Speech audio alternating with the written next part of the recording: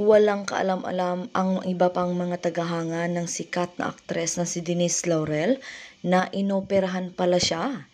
Alamin sa videong ito ang iba pang mga detalye kung bakit sumailalim siya sa opera.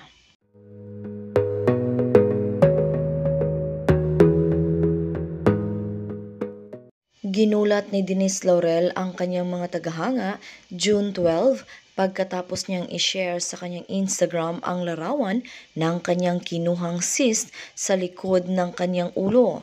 Inoperahan ang aktres noong June 9, 2022 pero tatlong araw ang nakalipas bago niya ito ipinaalam sa publiko.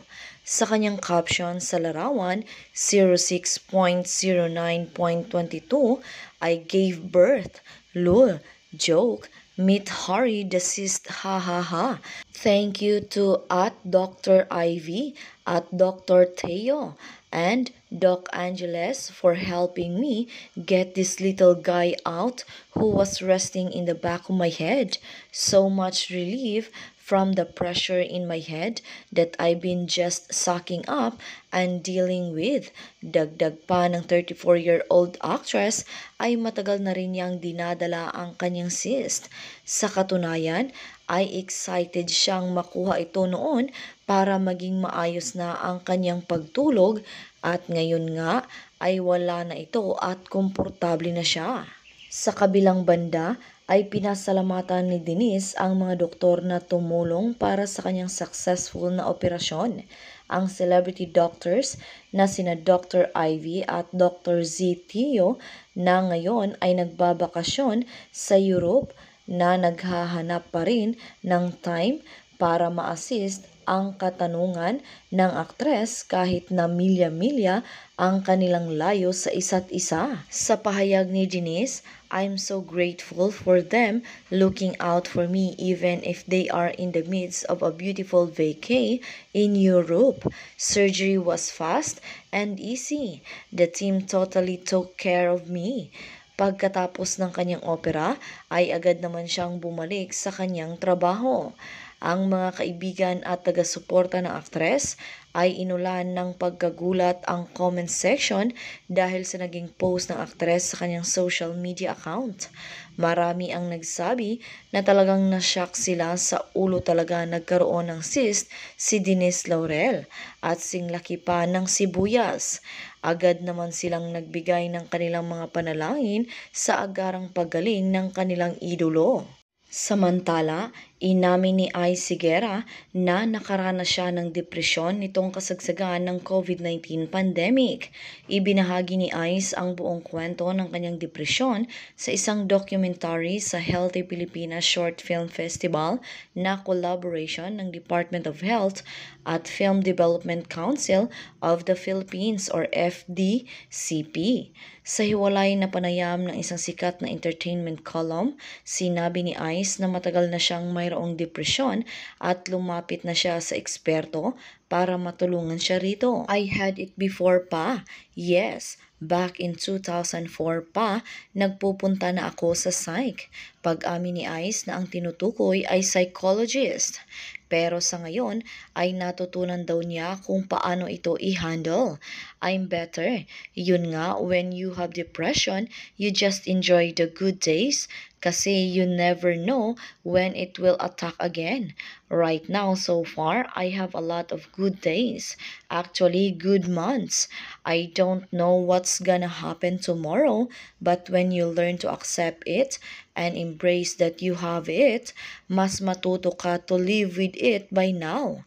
Pinagpapasalamat ni Ice ang suporta at pangunawa na ibinibigay sa kanya ng partner niyang si Lisa Dino.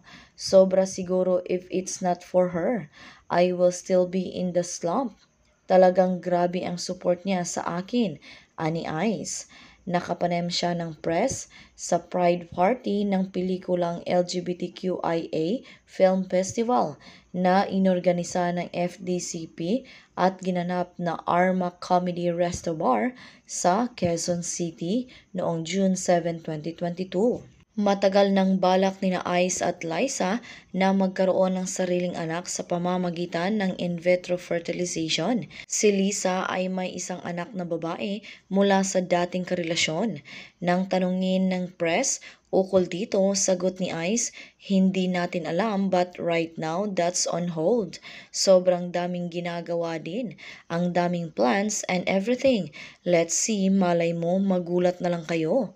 Nahingan din ng reaksyon si Ice sa balak niyang sumailalim sa breast removal surgery katulad ng ginawa ng kapwa singer na si Jake Cyrus. Of course, we have plans to do that. Nag-iipon lang. It's not easy to face especially ang mga Pilipino ang daming sinasabi.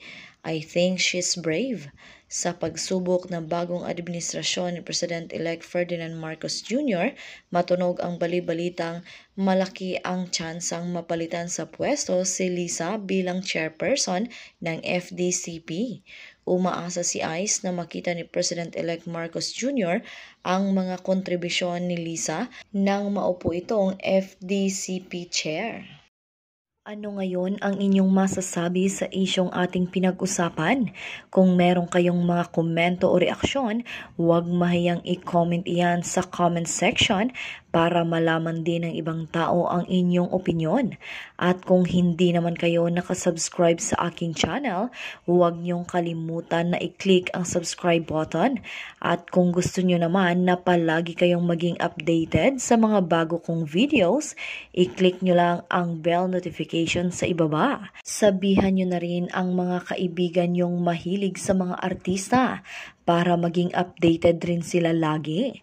At kung gusto nyo rin ng iba pang mga videos at bagong mga videos tungkol sa ibang mga artista, i-click lang ang i button sa itaas ng video at end screen sa katapusan ng video para makita nyo ang bagong mga video o kahit naman iba pang issue. Maraming salamat sa mga taong walang sawang sumusuporta sa aking channel at pati na rin sa mga taong bago pa lang sa aking channel.